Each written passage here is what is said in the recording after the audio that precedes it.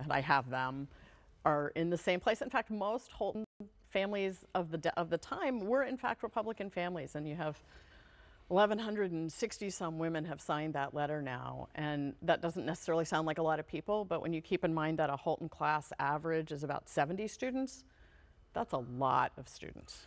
It's a Okay. lot of classes. If we could set aside for, for, for a second uh, the FBI investigation, because there's not going to be one. So, so what we've got, her word, his word, seems like the men are caught up on what the president's caught up on, and that is due process. Where is the proof that tips the scale here? Is he not innocent until she's got that kind of proof? And you and women respond to that with what? I have a couple thoughts. I find, again, I'm not an attorney. I didn't get a law license this week. So, but at the same point, I find it fascinating that when men say they don't remember, so they didn't do it because they were drinking, we believe them. But when women say it happened, even though they were drinking, we don't believe them. Right. When men have come forward to talk about abuse at the hands of Catholic priests, we believe them. When women come forward, we don't. And I don't know what actually happened. I think there's some commonality of their stories. I think the standard is not that of a courtroom. This is about whether he gets a job for the rest of his life, not whether or not he's innocent or guilty for jail time, right?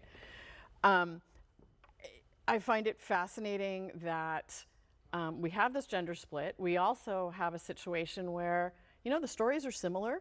We have uh, Dr. Blasey Ford very clearly identifying Kavanaugh and one of his best friends. She's got some facts there that are not nothing. Um, and I think we do have to listen in here. What I'm disturbed by is the pace of this, which basically says, yeah, we're going to let her talk, and then we're going to do what we were going to do anyway. Um, I'd love to believe that there's some ears in the Senate that are open to actually hearing what she has to say. Uh, everybody else is taking bets. Want to make a prediction?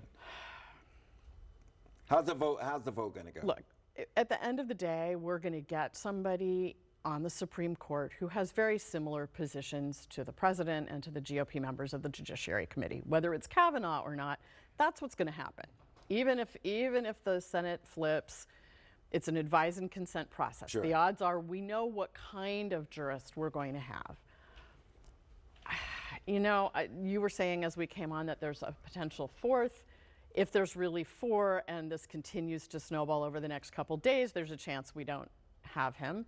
But I'm not sure that he doesn't get approved. Right. And But I hear what you're saying. You're, you're saying it's, it's, it's a job interview. There's enough doubt there. Do you really want to roll with this guy, or can we do better? I understand perfectly well what you're saying. I also understand what the guys are saying too. But that's where we are. You know. Topper.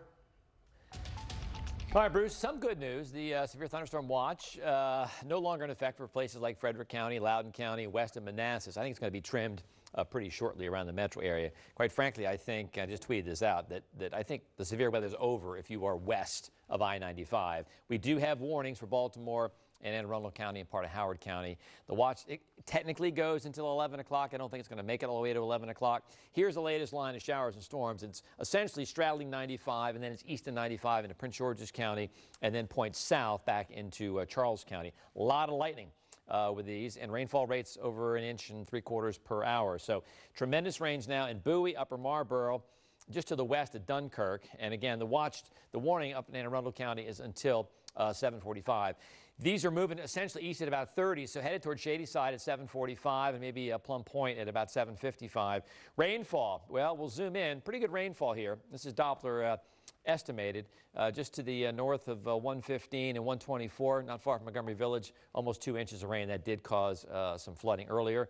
And we have uh, some storm reports now coming in. So off to the west, we have a tree down earlier around Martin Road, and that was earlier this afternoon. Now we have some more recent activity. So uh, Maryland 355 closed, Ball Road flooding, and also up toward Urbana closed, flooding at Ball Road at 659. So a lot of flooding with these, but again, the good news if you are west of I-95, you're okay.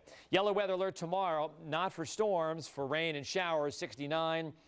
Morning rain on Friday, then a nice day, mid 70s. Nice on Saturday, great. First full weekend of fall, nice on Sunday, and we warm up next week into the middle 80s. Bruce will be back right after this.